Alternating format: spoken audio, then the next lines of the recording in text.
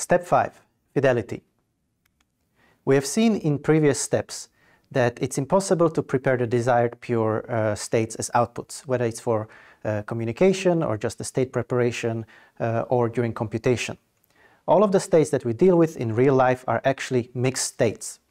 Just to remind you of the scenario is, particularly in communication, you begin with some input state psi, and this is a pure state that you would like to use in your protocol. And you send it through a noisy channel. And usually the output at the other end is with some probability you have some state psi1, with another probability you have state psi2, and so on and so forth.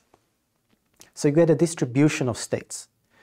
And often we are interested eh, in a very succinct way of describing this output or describing the quality of the output state. So naturally, talking about all of these probabilities and all of these possible pure states in this distribution is very clumsy and not very useful. So what we are looking for is a single number that would describe the quality of our state at the output. And that's precisely what fidelity does. So let's have a look how it's defined.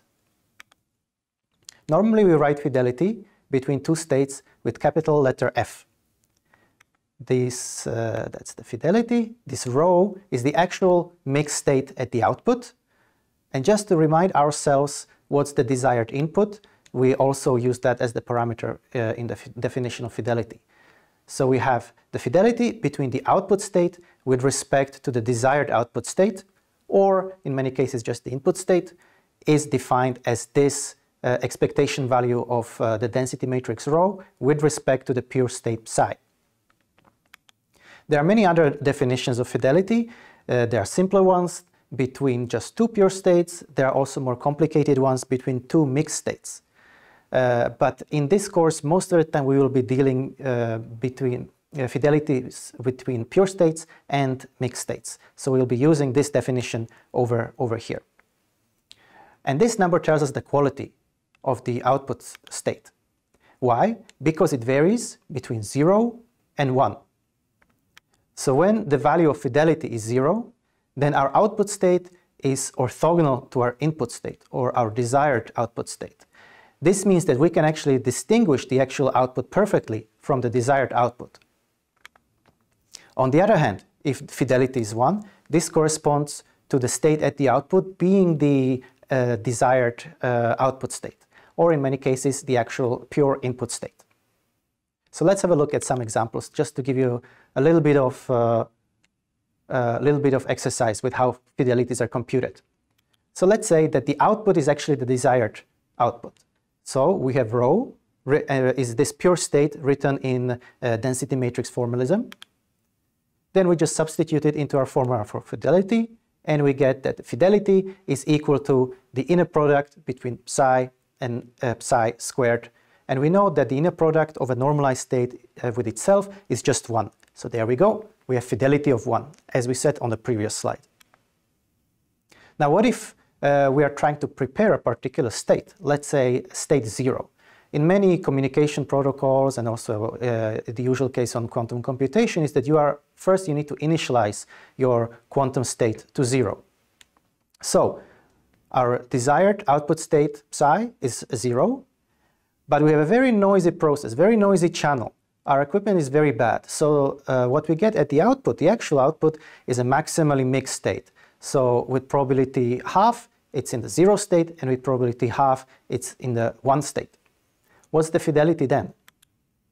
Well, we can just compute it, we substitute it in, and it's very simple here. You can see that the inner product between 0 and 0 is just 1, and between 0 and 1, it, uh, it is 0, it vanishes because 0 is orthogonal to 1.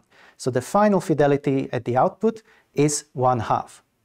Notice that it's not 0, it is zero only for orthogonal states. This is a little bit counterintuitive because after all, this pure, uh, uh, pure state which, undergone a very, which had undergone a very noisy process turned into a maximally mixed state. So in, intuitively, this is a most useless state for us. Yet the fidelity with the uh, input state is still a half. It's not a zero. What if we have um, uh, two quantum bits? and we are trying to initialize them in the zero state. But due to the imperfections in our um, uh, laboratory we get again a maximally mixed state, but this time of two qubits, written as, as that. Then we can again compute the fidelity, and it's one quarter.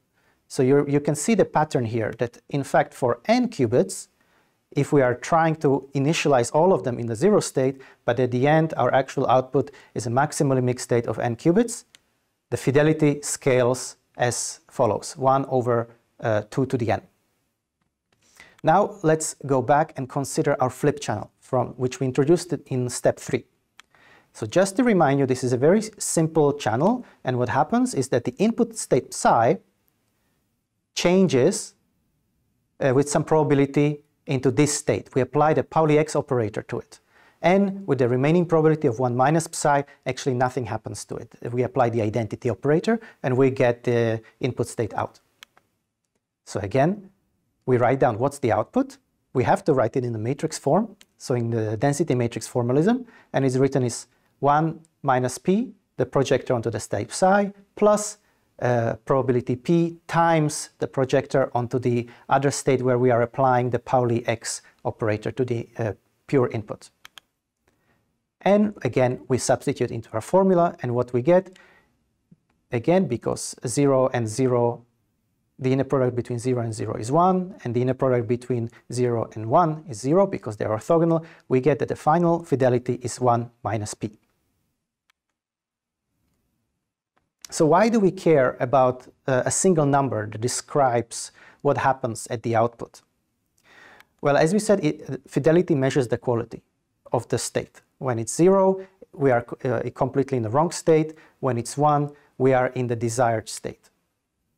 And often, uh, fidelity can be interpreted as the probability that the state that we have at the output actually passes a test for being the desired output state. What this means is that even if you get the uh, some state which has fidelity less than one, it's not a completely useless state, and you can still use it in your protocol. Although not uh, with certain uh, um, certainty, you will have some probability of failing. And also many protocols in communication and quantum computation use fidelity as some type of requirement for your task uh, to work.